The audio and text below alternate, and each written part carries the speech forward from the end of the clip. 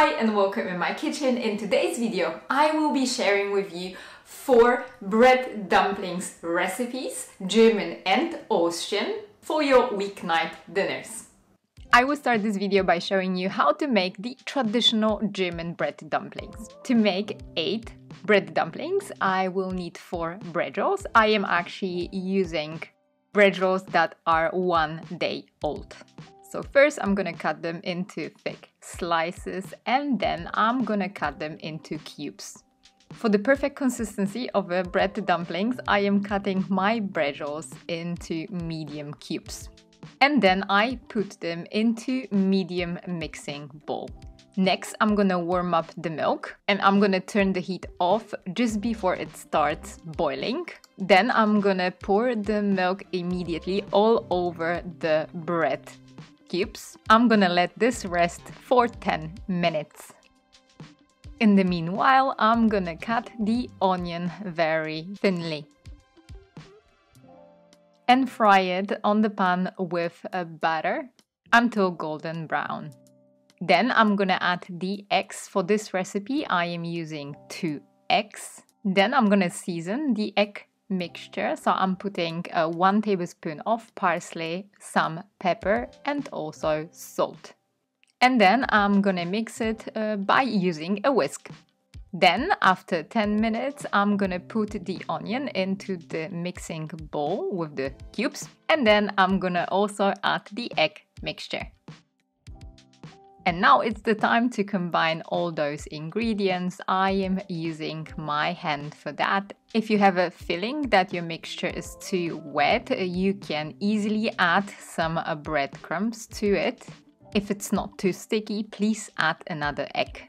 Before I start forming the dumplings, I'm gonna prepare a small bowl with uh, water so the dough won't stick to my hands. It's just a regular room temperature water and then I'm gonna form the dumplings. I like my bread dumplings to be medium size, uh, like a tennis ball.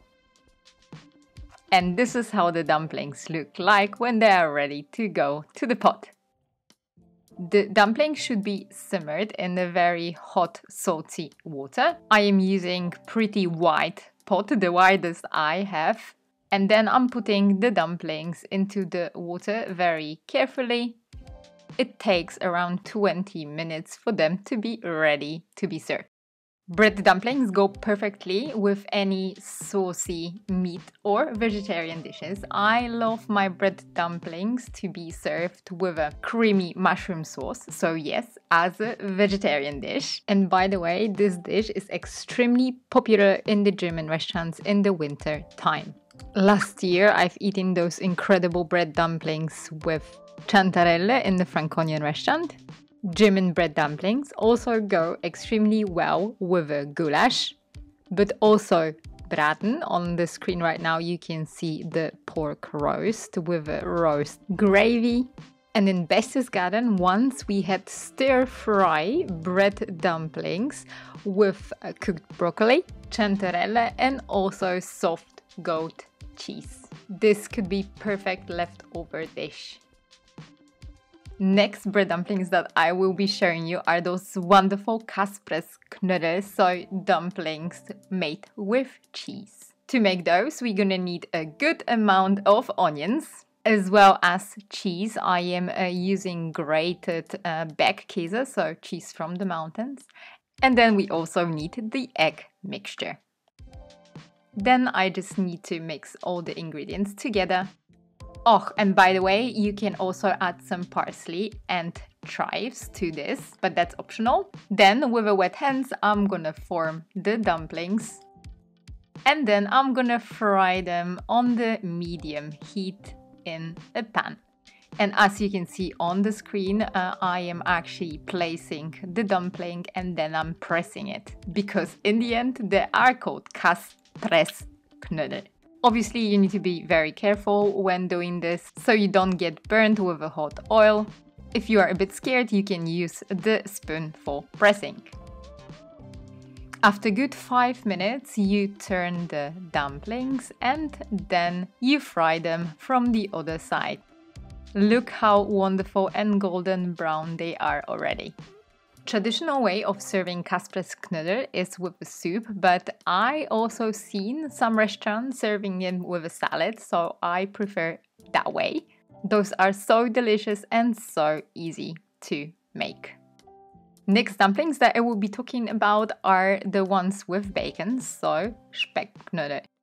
For those, we're gonna use uh, onions that were fried on a good amount of butter and obviously bacon. I seasoned the egg mixture also with a nutmeg and then I added it to the breadcrumbs and mix it all together.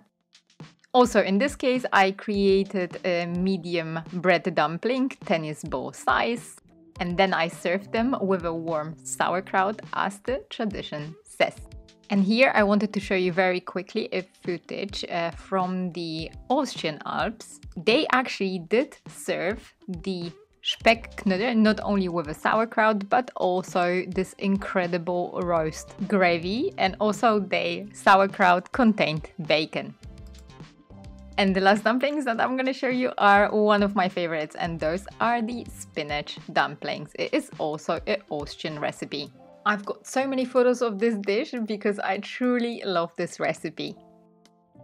So I am putting a good amount of spinach into the bread cubes. Uh, there are already also uh, fried onions in this bowl. Then I'm adding egg mixture, also seasoned with salt, pepper and nutmeg. And in this case, I'm also adding one garlic clove.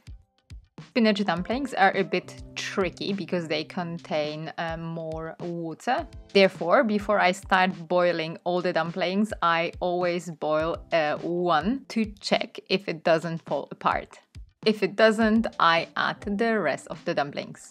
In the meanwhile, I also prepare brown butter because this is how the uh, spinach dumplings are served traditionally. I also love serving my bread dumplings with a bit of parmesan cheese and a bit of chives, but this is optional. So there you go, this is seriously a piece of heaven. And here I wanted to show you very quickly how soft they are. Incredible. I really hope that you will make at least one of those bread dumplings really soon. Thank you very much for watching. Please let me know in the comments down below which is your favorite uh, bread dumpling variation. If you like dumplings, I've got for you two videos on my channel. One general about the German uh, dumplings and the other one about the German potato dumplings. So you can watch them next. I am actually showing all this comfort food to get you prepared for the Advent time and Christmas time because there will be a lot of cooking to do. So stay safe and healthy and obviously wait for another cooking inspiration from me next Sunday. Bye!